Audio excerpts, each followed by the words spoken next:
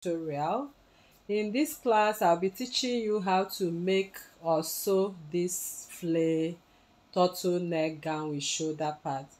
This pleated uh, flay turtleneck with shoulder pad as you can see right here i'm going to teach you the full circle method. We have actually two methods for it.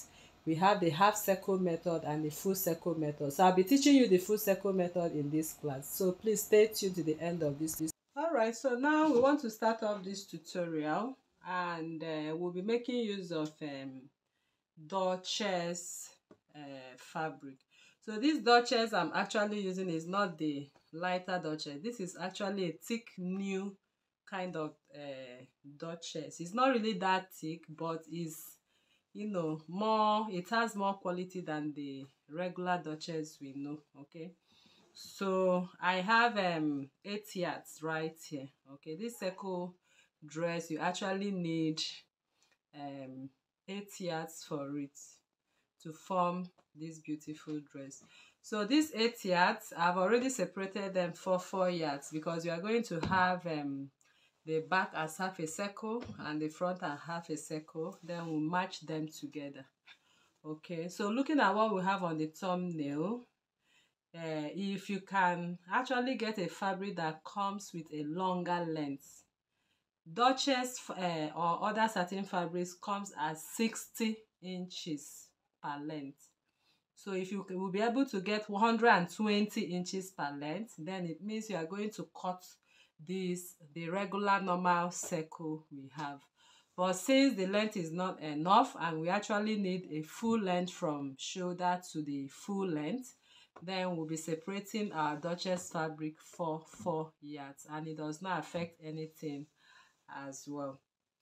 So now we'll be working with um, the front first. We are going to cut the front and the first thing I'm going to do is the 4 yards I have, I'm going to match them together to make, uh, I'm putting them together to form uh, the folded edge because we are going to make pleats if you look at that dress you see that there are some beautiful pleats so i'll quickly arrange this um four yards for the front now.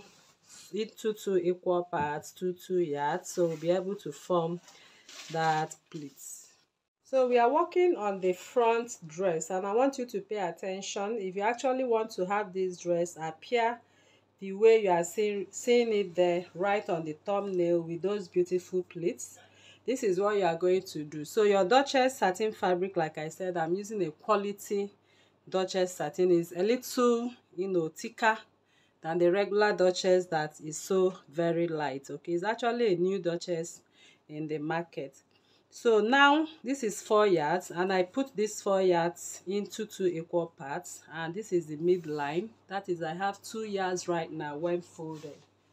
So now i'm going to create a notch on this midline. Then we are going to create the pleats before we go ahead and cut out the neck line. So you can see it right here.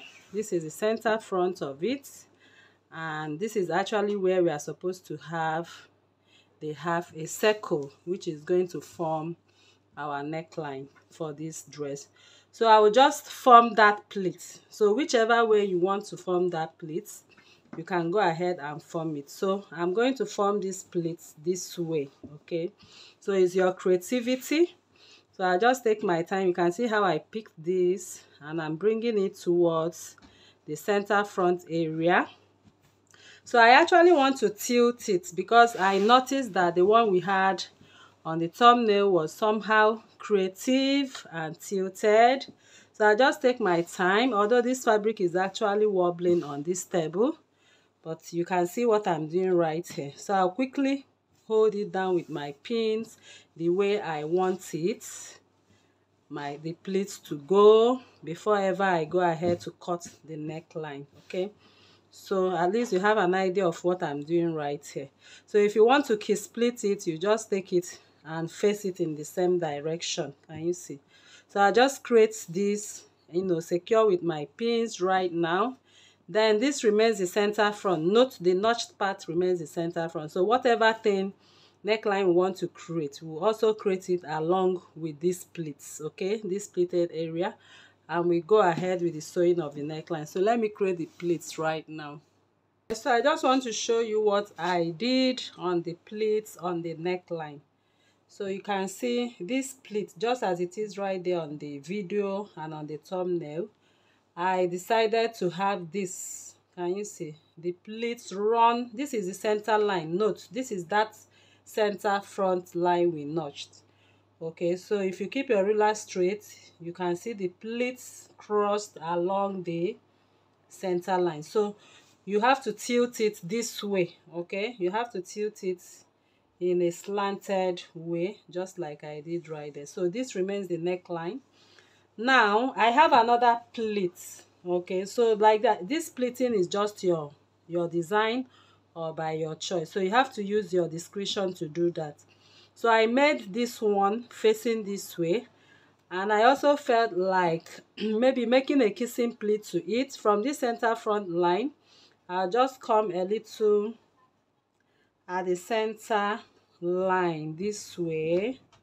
So if you don't want this uh, pleat to show too much just pick like one inch of it this way and secure with your pin.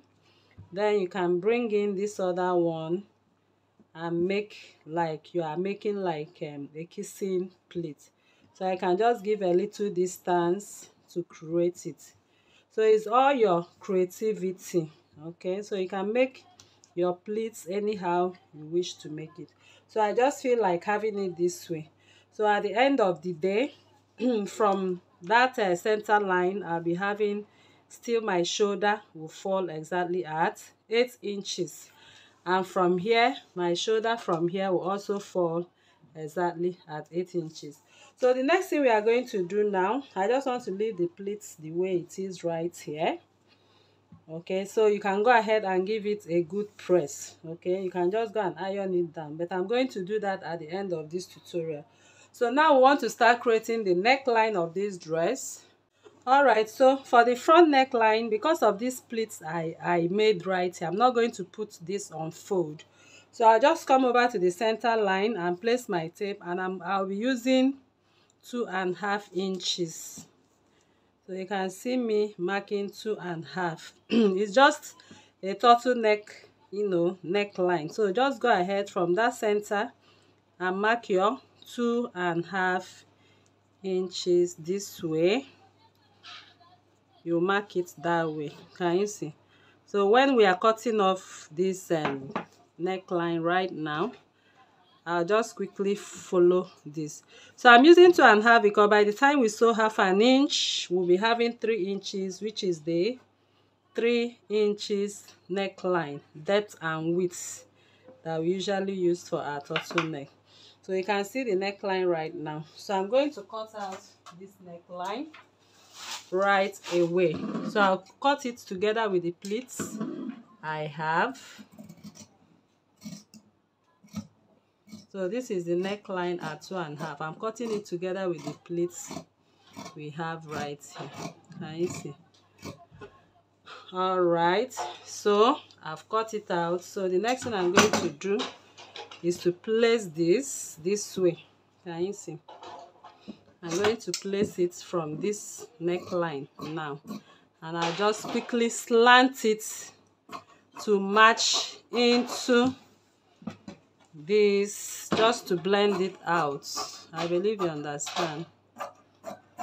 Okay so i blended it out right now. So you can see we have our pleats we also have our neckline.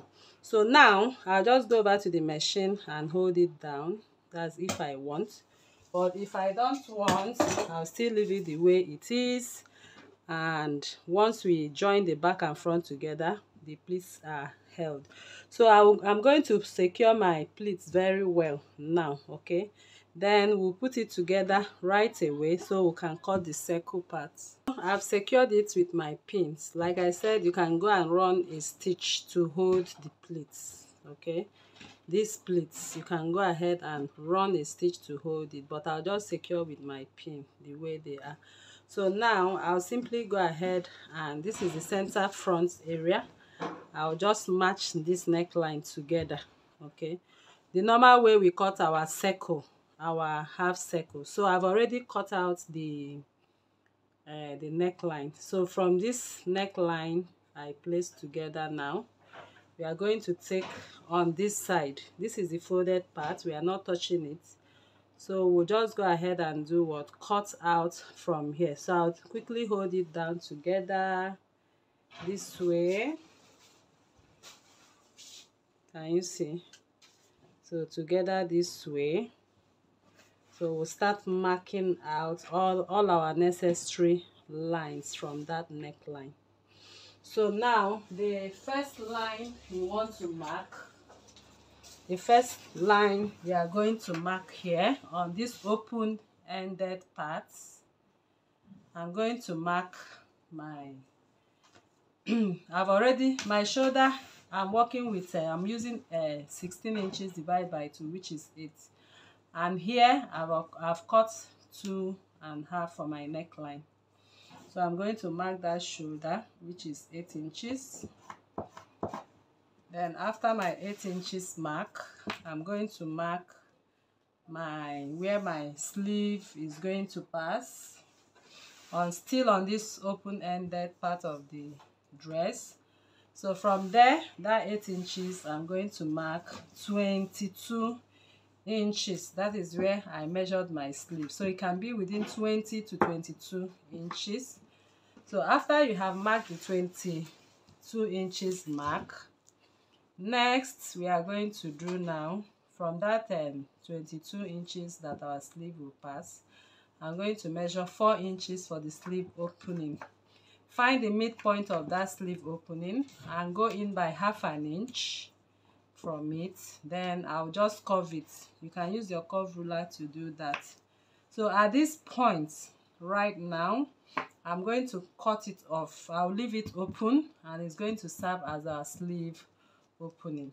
Then from that point um, I'll now measure 30 inches down okay? It depends on how long you want it to measure so here I have exactly 30 inches okay? So that's why I asked you to take use um four yards okay? Because I know we are going to exhaust the rest of it.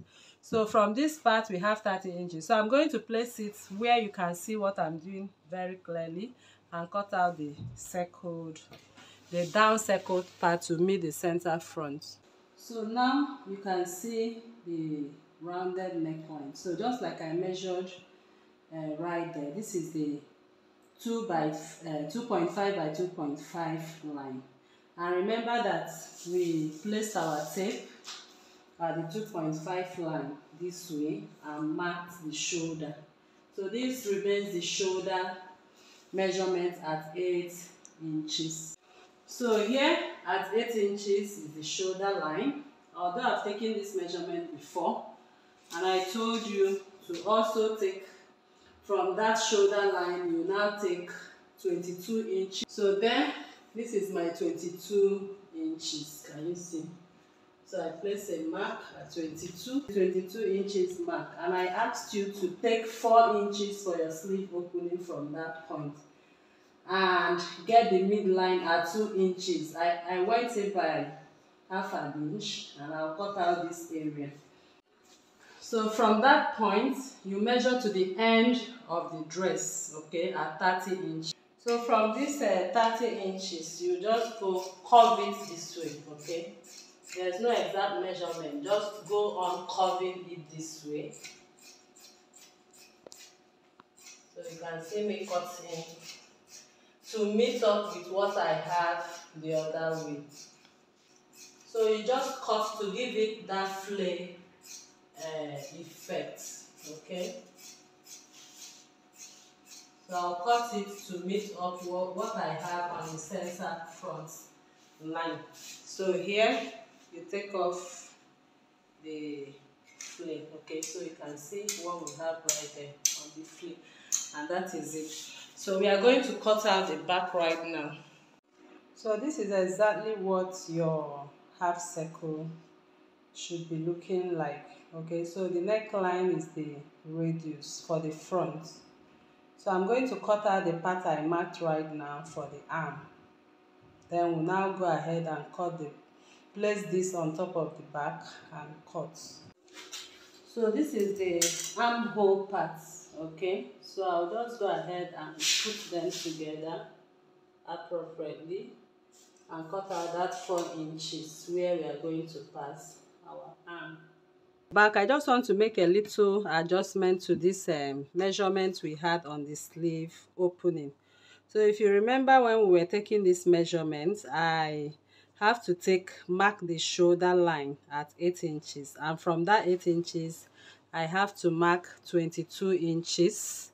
So at this 22 inches please instead of um, going uh, down more by 4 inches. This should be your mid line okay? So that's the right thing. At that 22 inches should be your mid line and that is exactly where you are going to come in by half an inch okay? Then from here you measure two inches this way. And from here you measure another two inches. So once you measure that two inches you are going to do what? Curve it okay? This way so you now curve it to meet up that way. So that 22 should be your midline for your sleeve opening. So now i'm going to cut out what i have. So this fabric is actually wobbling a lot. So but you have to be very careful. While working with it is a duchess fabric so i'll go ahead and cut that sleeve opening from the adjustment new adjustment i made. So now after cutting out this four inches sleeve opening so when we are going to sew we are going to leave this sleeve opening. That's where we are going to pass this um so it can be four inches it can be five inches if you are on a larger size so now i'm going to cut the neckline for the back then place this on top of the back and cut repeat the whole process for the back before we begin to sew. So for the back i bring in the four yards again okay? So this is the four yards uh, remaining of the eight yards of duchess that we are using for this project. So this other four inches you are going to also uh, put it together and find the mid point. Remember this is 360 full circle we are cutting but we are cutting front 180 back 180 to give us what we actually looking for. So here if you are cutting 180 this is how you fold it exactly what we did. Then for this we are going to have another style of pleating for the back so since we are having another style of pleating for the back this is how we are going to go about it. So once you have gotten the center back place a notch to it.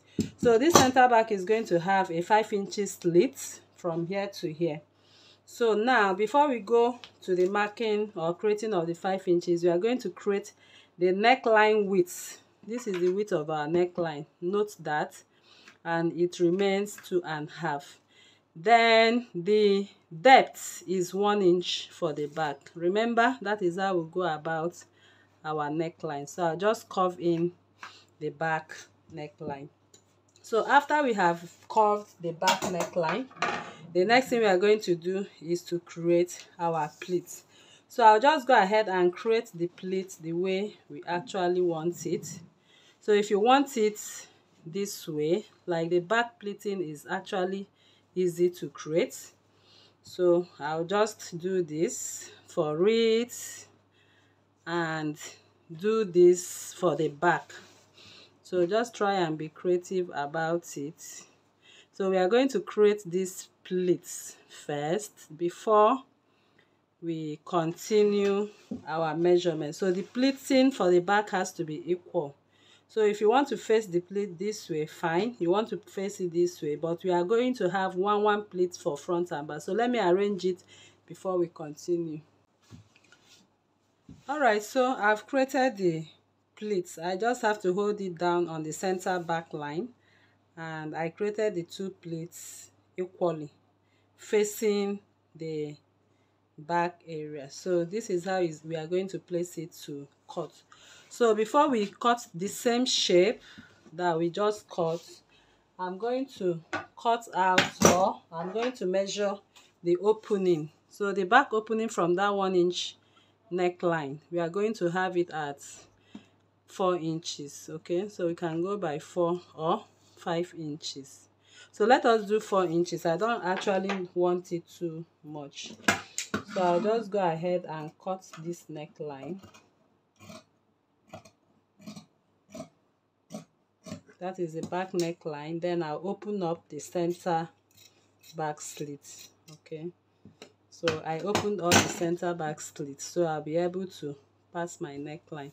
So we can still do four five inches okay? Let me just do the five inches because that is the standard i know for necklines like this. So i just get it up to five inches okay? So we are going to use our bias strip so we are done with this back now so the next thing we want to do is to place it right on the on uh, on top of the place the front one on top of the back and cut the same shape. So now I've placed the back, okay, the front that we cut, I've placed it on top of the back. So I'll now follow the back now and cut exactly what I have for the front. So that's what I'm going to cut now. Now we have cut both um, front and back dress, okay? so I will take front out and want to finish up the back dress now so I'll go over to the machine right away and spread open what I have for the back so this is what I have for the back now. So you can see the pleats I still secure them with my pin. So I'll just go ahead and open up um, tape the five inches okay? So I'm going to use my uh, bias to finish up here. So I'll do that quickly. Then I'll stitch the pleats to secure them take off my pin.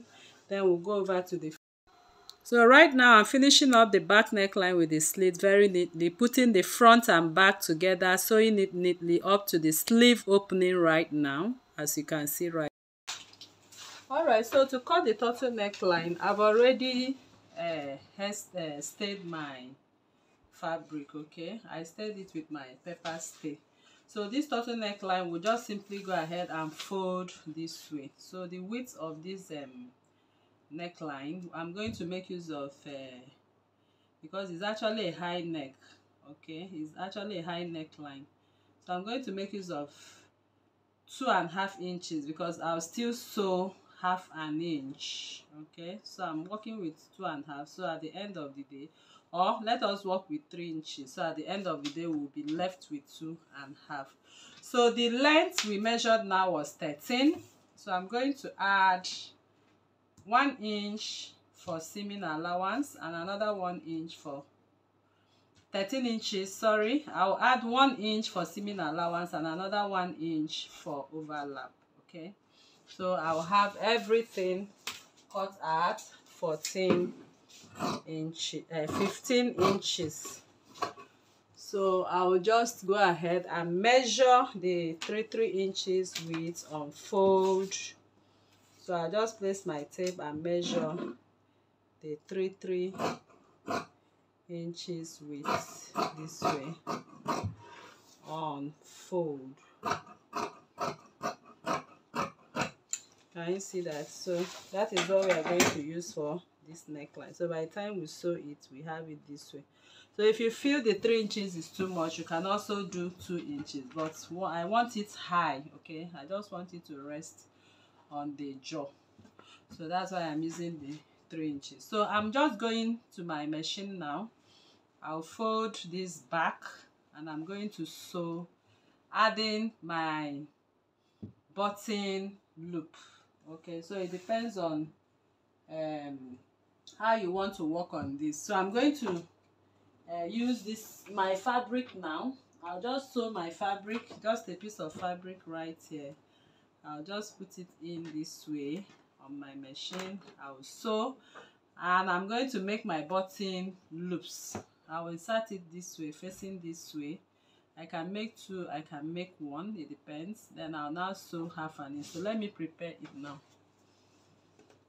Right so this is what it looks like right now. So i'm going to turn it to the right side now so if you turn to the right side like i said i have my loops sewn in it already.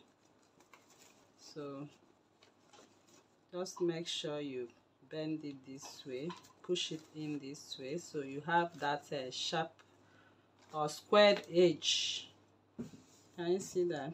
So that is that. So i'm going to sew this neckline right now. I'm going to sew it right into this dress and we are done with this class.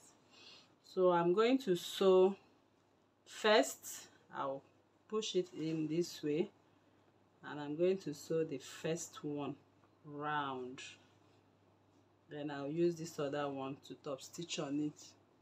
So i'm going to prepare the shoulder pad. I'm going to cover it with fabric right now as you can see right. So now i'm going to insert the shoulder pad to the dress right when you iron it you have something bending this way. So i put it together and i placed my steam iron this way. So at the end of the day it has this uh, apex area going up to carry the dress. So i'll now go ahead like i said i will attach the shoulder pad I think I've explained how the shoulder pad is going to be attached. We have two ways you can attach them. One, you can wear it on on the body of the person you are making the dress for or on your own body so once you have done that then you can go ahead this highest part is the part that will be on the shoulder so if this is your shoulder the point of your shoulder if this is from here to here is the remaining five inches from here to here okay? Then you can just bring the shoulder pad a little inwards so you have like one inch across okay? So i'll just secure it with my pin now. Just assuming that is the point of the shoulder pad. So on the same line that is where i'm going to tack so if you're using the tacking method tack on the seam line from beginning of the shoulder part to the end. Then I'll also repeat the same for this other part. So after I'm done with that the next thing is to decorate it as you can see right there. So you can come in with any appliques of your choice. You can place how you want or how you wish so remember we have a pleat running this way. So i'll just iron down this uh, pleat to give it a crease line before i place my applique. So i'll just place my applique like you can see right there on the thumbnail is coming almost uh, above the collar. So i'll position it the way that it will look fine so that is how we come to the end of this tutorial and i believe this class was helpful to you. So if you are new to this channel please kindly subscribe turn on your notification bell to receive videos like this every day. Like this video share to family and friends drop your comment on the comment section and your suggestions as well. Thank you once again. See you next